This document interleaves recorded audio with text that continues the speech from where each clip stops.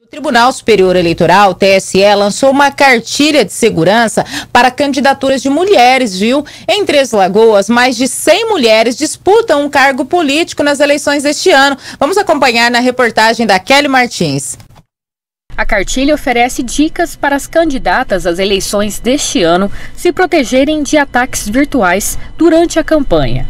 Na primeira parte da cartilha, as candidatas recebem informações para manter a segurança da página na rede social contra ações de hackers, restringir usuários e denunciá-los à plataforma. O uso das ferramentas do Instagram para se conectar aos eleitores também estão disponíveis na segunda parte da cartilha, lançada esta semana pelo Tribunal Superior Eleitoral.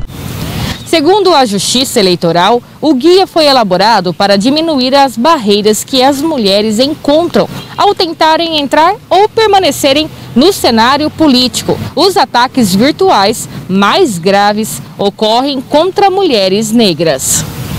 Em Três Lagoas, 295 candidatos foram aprovados pela Justiça Eleitoral para as eleições de 2020. Desse total, 105 são mulheres. Apenas uma disputa a prefeitura. As outras são candidatas ao cargo de vereador. 55 candidatas são negras. Análise feita por especialistas revelam que as mulheres sofrem muito mais ataques online que os homens.